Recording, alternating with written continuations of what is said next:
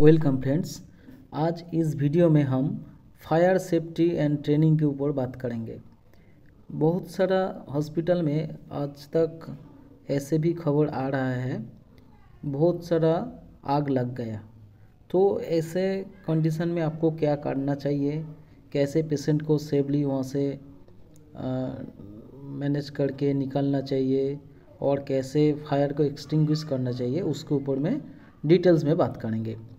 जब कोई हॉस्पिटल में इंस्पेक्शन और विज़िट होता है, तब तो इसके ऊपर बहुत सारा क्वेश्चन पूछा भी जाता है। So how to exting extinguish a fire how to operate fire extinguisher and what to do in case of fire and इसके रिलेटेड जो टर्म्स है रेस एंड पास क्या है? देखिए this training is to understand how to use fire extinguisher वो fire extinguisher use करने का, का यूज़ करने का जो प्रोसेस है उसको पास शॉर्ट फॉर्म से जाना जाता है। PASS stands for pull aim squeeze and sweep details में बात करेंगे। And how to respond to a fire is abbreviated as RACE that means rescue alarm then confine and extinguish so पहले जान लेते हैं रेस क्या है। रेज मतलब रिमूव एलार्म कॉन्टेन और कॉन्फाइन देन एक्सटिंग्विश और इवाकुएट डिटेल्स में समझते हैं ये टर्म क्या है। Remove remove every one from the area अगर कहीं जगह पे आग लग जाए तो पहले वहाँ पे जो पेशेंट है, उसको वहाँ से रेस्क्यू करना चाहिए एंड वहाँ पे निकल के सेफ़ जगह में ले जाना चाहिए। ये पहला स्टेप है। दूसरी स्टेप क्या है? अलार्म अगर बिल्डिंग में जो अलार्म स्टेशन है, वो उसको पुल करके अलार्म को एक्टिवेट करना चाहिए ताकि कंट्रोल रूम में जो है उसको पता चले जे कहीं पे आग लग गया है। ठीक है? एंड उसके बाद अकॉर्डिंग टू एक्शन प्लान जो है वो लोग और जो इन्वॉल्व है फायर रिलेटेड ये करने के लिए वो ऐसे प्लान करके काम करेगा। आप भी उस टीम में अटैच हो सकते हैं, ठीक है? तीसरी बात क्या है? कॉन्टेन और कॉन्फाइन ठीक है?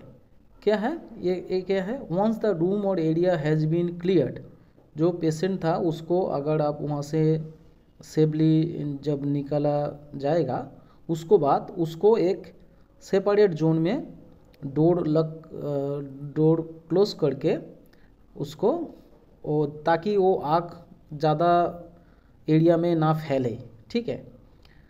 और जो टीम है, आग निभाने के जो टीम है, वो आने तक, वो आग को ज़्यादा दूर तक ना स्प्रेड हो जाए, उसके लिए ये कॉन्टेन करना ज़रूरी है। नेक्स्ट क्या है? एक्सटिंग्विश और इवागुएट एक्सटिंग्विश कैसे करा जाए? वो बाद में डिस्कस करेंगे। फायर एक्सटिंग्विशर जो है, कैसे यूज़ करते हैं?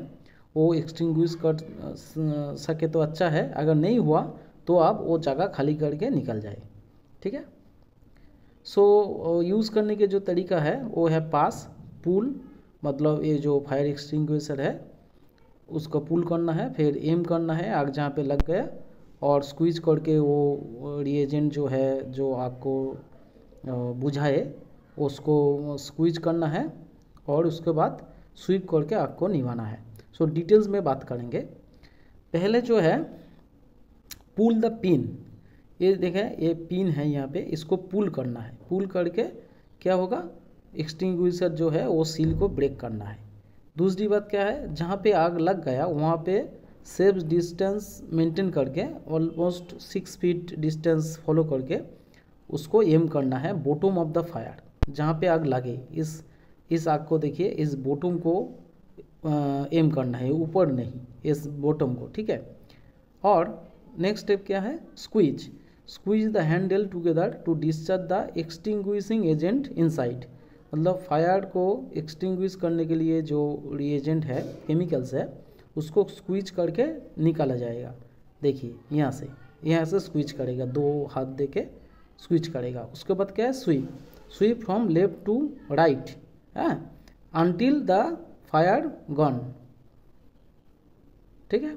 सो स्वीप नेक्स्ट स्टेप बोल दिया। अभी देखिए, कितना टाइप का फायर लगने का मटेरियल जो है कौन कौन मटेरियल से आग लग सकता है, वो उसके ऊपर थोड़ी जानकारी ले लेते हैं। क्लास ए मतलब जो फायर है, वो वुड वुडन मटेरियल्स और पेपर और टेक्सटाइल्स कपड़ जो है, उनमें से लग जाता है। वो मटेरियल क्लास ए टाइप का आग कहा जाता है। क्लास बी मतलब फ्लेमेबल लिक्विड्स जैसे पेट्रोल डीजल और कोई ऑयल वो class B and class C मतलब कोई gases fire involving for gases जैसे एलपीजी लिक्विड पेट्रोलियम गैस ठीक है? और क्लास डी है फायर इन्वॉल्विंग मेटल्स कोई भी मेटल्स हो सकता है ठीक है? सो so, ऐसे करके फायर को एक्सटिंग्विश करने के लिए इस टाइप का पाउडर रहता है।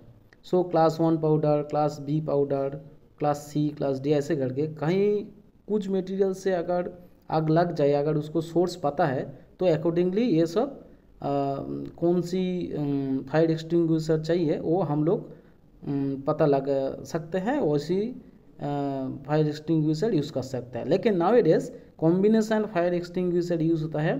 सो so, ये कोई भी फायर एक्सटिंग्विशर कहीं से भी आग लगने से काम करता है। सो ये बेसिक कॉन्सेप्ट के लिए डिस्कस किया। अभी देखिए, अगर कहीं जगह पे आग लग जाए तो आपको कैसे वहाँ से निकलना चाहिए? पहली बात है, जो आपका फेस है नोज़ है, उसको आप थोड़ा सा हैंडकट चिप दे के उसको कवर कीजिए ताकि इनॉक्सस गैस आपको लंग्स में ना एंट्री ले। ठीक है? दूसरी बात, आपको ऐसे करके क्राउलिंग मूवमेंट करना है। पिक्चर में देखिए ताकि ऊपर में जो नॉक्सियस गैस रहता है, ज़्यादा अटैक करता है एंड ज़्यादा नॉक्सियस गैस ऊपर में ही रहता है। इसलिए अगर आप क्राउलिंग मूवमेंट में जाएँगे तो आपको हानि होने की चांसेस कम है। And make exit from a suitable point if you have any question feel free to ask